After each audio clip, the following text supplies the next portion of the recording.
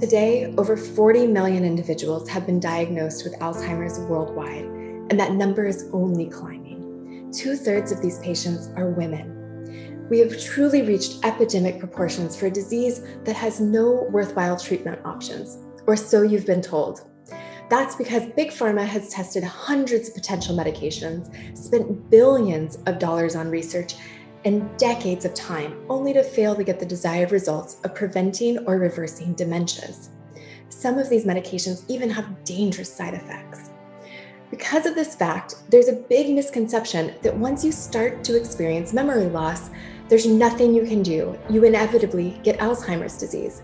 That is absolutely factually inaccurate. It's just not true. I'm Dr. Heather Sandison, your host for the Reverse Alzheimer's Summit. I have dedicated my career to working with Alzheimer's patients to reduce the unnecessary suffering of so many families.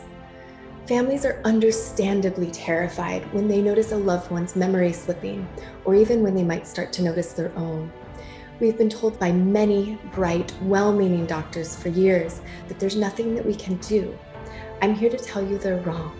There is lots you can do, and many of these things are simple and you can do them from the comfort of your own home. A dementia diagnosis can be devastating. It's bankrupting financially, emotionally, and often even physically for loved ones, caregivers, and families. It doesn't have to be that way. You see, the latest medical research and clinical trials are showing that Alzheimer's is actually optional, and it's truly a preventable and reversible disease. There are things we know today simple interventions that can help to stop and even reverse the progression of disease. We know today that diet and lifestyle play a massive role in cognitive function. We know toxins, inflammation, lack of oxygen, and infections can drive the disease process towards heartbreaking cognitive decline. Again, this is what the latest and most well respected research is telling us. To demonstrate this, with the help of Dr. Patrick Porter, I'm interviewing over 40 of the best doctors, scientists, and research experts from around the world to reveal the incredible breakthroughs that we know about today for preventing and reversing Alzheimer's. In this Reverse Alzheimer's Summit, you'll discover the best diet for dementia that you can start implementing now, how to talk to your doctors, what questions to ask, the best exercises for dementia that you probably don't already know about. It's not just ballroom dancing. The most common and little known causes of dementia that you might be able to do something about tomorrow. How stress not only causes Alzheimer's, but can be helpful in the right amounts.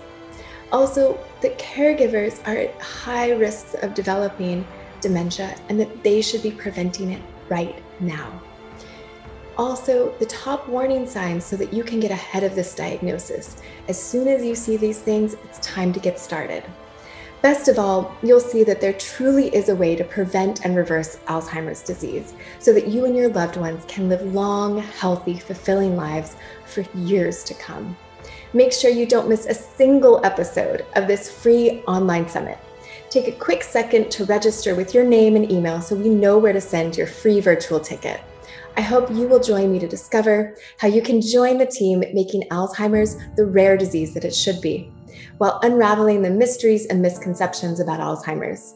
I'm Dr. Heather Sandison, and I cannot wait to host you on this Reverse Alzheimer's Summit.